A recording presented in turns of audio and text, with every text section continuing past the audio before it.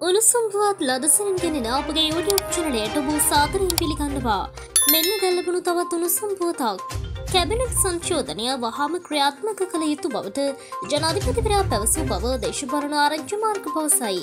ඒ ජනාධිපතිවරයාගේ සමීපතමීන් විසින් සිදු කරන ලද දේශපාලන වාර්තාවකට අනුවයි.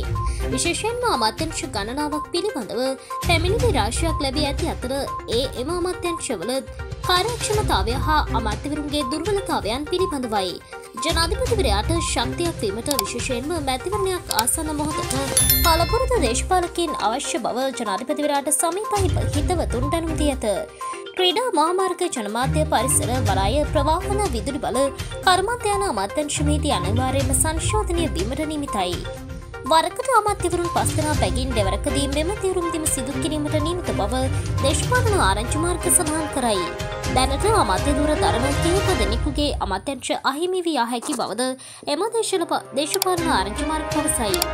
මෙවැනි සම්පුවත් ලදසනින් දැන ගැනීමට අපගේ YouTube චනලය සබස්ක්‍රයිබ් කර වෙල්ලයිකනේ ක්‍රියාත්මක කරන්න.